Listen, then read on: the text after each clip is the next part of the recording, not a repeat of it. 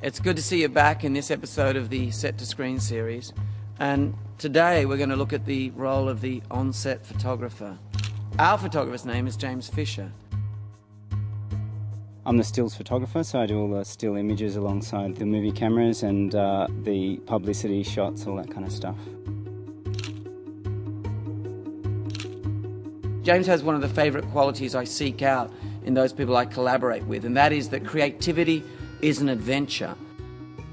I'm shooting so fast, um, it's like being in the eye of a tornado. I have five minutes to look at what I do and move on to the next idea. Well, I guess you have to try and tell the story in a single frame. You'll just have a facial expression that'll tell the story.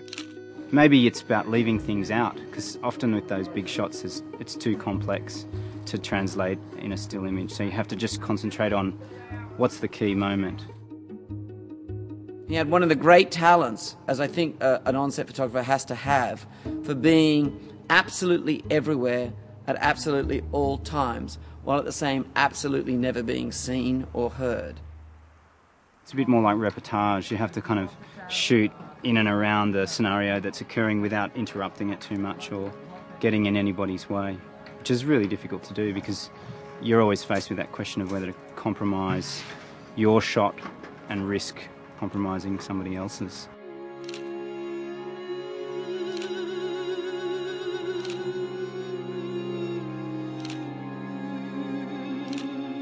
I think probably 90% of the quality images will come from the location shoots. I mean, here you have the most incredible sunsets and sunrises to work with, and everybody's excited all the time.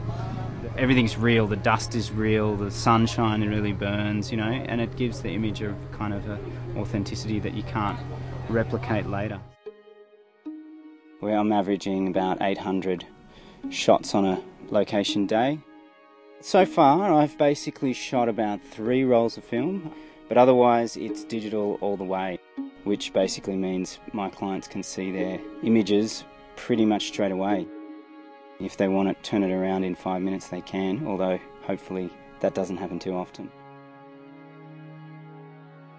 Apart from James Fisher's wonderful work, we were very fortunate to have legendary guest photographers, people like Annie Leibovitz, Mary Ellen Mark, and a wonderful Douglas Kirkland. Worked around the movies a long time. In fact, for more than 50 years, I've worked around films. And uh, this is probably my 80th or 90th film, and it's spectacular out here in Australia. I mean, I've been here many times, and I thought I knew Australia. I knew nothing. I've been brought up here to this area, northwestern Australia, in the Kimberley region, and it's it's totally different and very very exciting. I mean, look where we are here. This is this is spectacular. I didn't know this existed.